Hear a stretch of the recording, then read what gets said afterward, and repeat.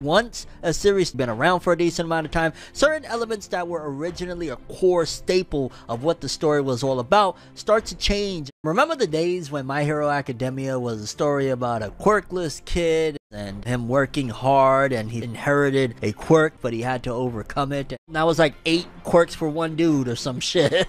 Deku is like damn near on a god tier level at this point. The amount of quirks he has, the way he's able to utilize quirks that he ain't even used yet. This is the first time he's about to use it. This is not the same My Hero Academia. This is not that same vibe. This is not that same feel. The series has never been the same again. Like for starters, All Might went from being my favorite character hands down in My Hero Academia to eh, he's okay. You go back to the All for One battle against All Might. A lot of people, including myself at the time, initially were like, man, that would have been a great time to have died right there. He survived it. I am not mad at all. It definitely is a showcase and a telling of where the times is at in terms of popular literature. Deku, he's he's a damn near god now, mate. But Lady Nagant!